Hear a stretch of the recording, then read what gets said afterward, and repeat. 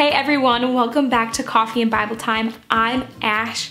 I'm here to help you guys learn how to delight in God's Word. Today I'm so excited to be talking with you guys about this cutie patootie right here. It's a new way I have been learning how to memorize scripture.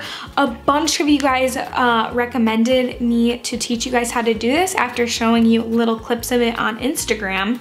Our Instagram is at Coffee and Bible Time, so keep watching if you want to see how I have been memorizing scripture.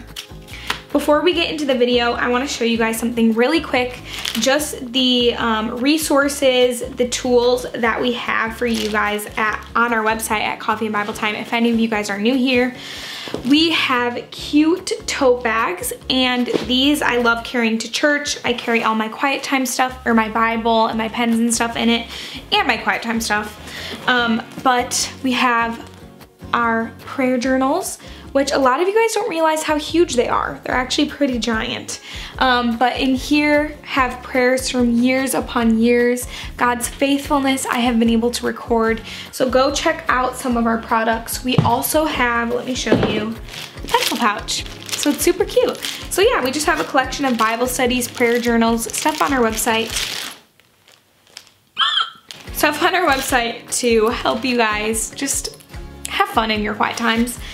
So I wanted to tell you guys before I fully get into telling you guys about this, how I learned about this.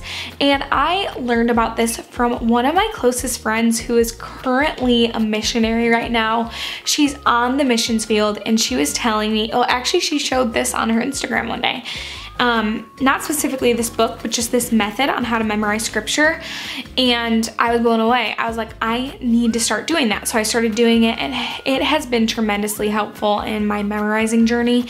Um, so I'm just so thankful to her for giving me this tip. Also, if you guys didn't know, we support missionaries at Coffee and Bible Time. We love to support missionaries with part of our income. And so she's one of the missionaries that we support. So again, that's why you guys should go buy things on our store and just support us, become Patreons, things like that. Just helps us and it helps missionaries. So, um, but I don't know if any of you guys remember, we did a memorizing challenge last summer and it was memorizing the book of James. How did you guys do with that? Comment down below, let me know. Were you guys a part of that? Maybe you're newer here, or maybe you tried and didn't really work out. Maybe it was too hard. Um, here's an update. Last summer, I tried memorizing James. I got through James 1, and I think there's either four or five books in the book of James, in the book of James. Four, four no, four or five chapters. That's what I meant to say. There's not four books in there. Anyways, so I was trying to memorize the chapters in James. I memorized one full chapter. Um, my goal was to memorize the whole book of James, but I got through one chapter. I am not saying that I that was a failure. I think that was still success because at least I memorized something. And for you, if you were not able to memorize the whole book of James, if you struggle with memorizing and you never can complete your goals, it's okay. At least you are getting into scripture, at least you are trying to memorize. So I think this summer I'm gonna make it my goal to continue memorizing James. If you guys want me to do something with you guys, like let's memorize it it together or if you want me to create resources with you, please comment in the description, let me know, and I'll create things that can help us all do it together. We can start a hashtag, maybe we can start a Facebook group or an Instagram hashtag. I don't know, let me know in the comments what you want.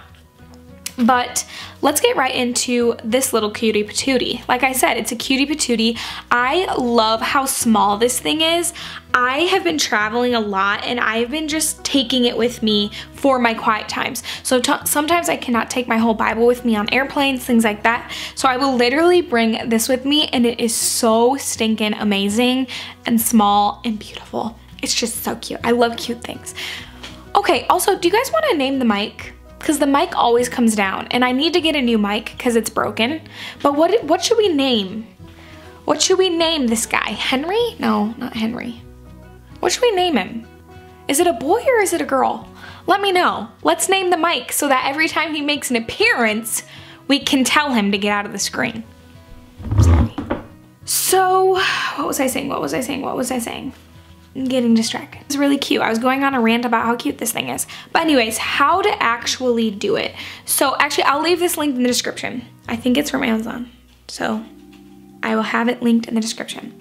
Um, okay, but how we do it. So in here, what I do is I'll, I'm starting with James 1, I'm memorizing a whole book of James right now.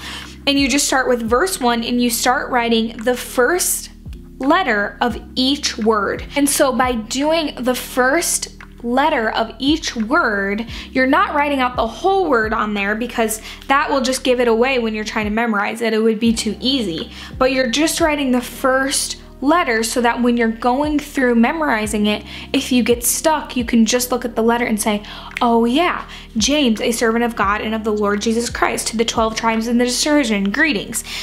And then you go on to verse two, and then you just do that for the whole thing. It's literally as easy as that. And it is so amazing. I love doing this. So that is pretty much how I memorize the book of James. That's how I'm memorizing. It is so fun to have it in this cute little thing. Every single quiet time, I'm not doing an in-depth Bible study. I'm sometimes not doing intense Bible study every morning. Sometimes if I wake up and I'm really tired and I feel like I can't even open my eyeballs, I will grab this and I will start memorizing. So again, you guys, let me know if you want to be more intentional. I did have someone actually ask a question that said, why would you memorize a whole book? So the reason I would memorize a whole book of scripture is because I think there is value in memorizing Bible verses. I think that's great, like individual Bible verses. But the downside of that is you're taking that verse out of context and you just know that verse. Whereas if you know scripture within its context, within the book that it's written, you will you will just find so much more richness and beauty to that verse and it will penetrate your heart better when you know it within the context of what it was written. So to me, it's more benef beneficial in my life to memorize a whole book also, I just learn so much more when I have the whole book that I'm memorizing.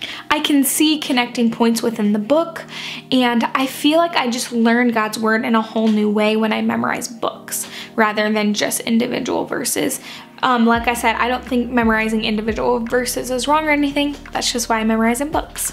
Okay, I think that's all I have for you guys today. If this video is beneficial to you, please share with a friend. Short, simple, sweet.